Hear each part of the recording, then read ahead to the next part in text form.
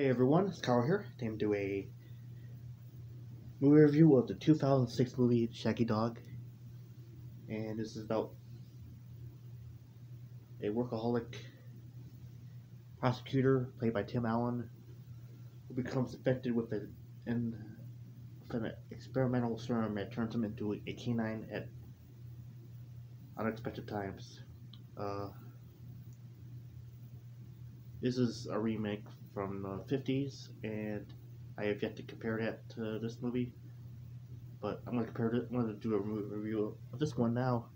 So I'm not sure when I'm gonna do the original movie review. So this is a hour and 39 minute runtime, and this is a very funny movie. Uh, kind of it kind of has like elements of the Animal played by Rob Schneider, which was like a 2001 movie.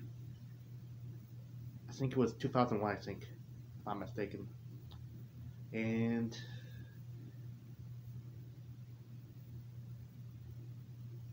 or 1999, I forgot. Sorry, but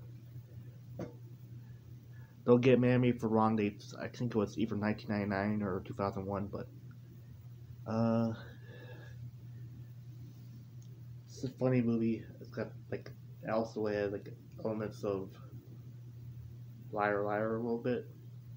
So yeah, basically the MO meets Liar Liar. So yeah, definitely a great family-oriented comedy. Made me laugh. Uh, and I also love dog movies as well. So, being a suggestions of dog movies you want me to watch that I may or may not know about, I'll take them into consideration if I haven't watched them yet and have a good one. Bye now.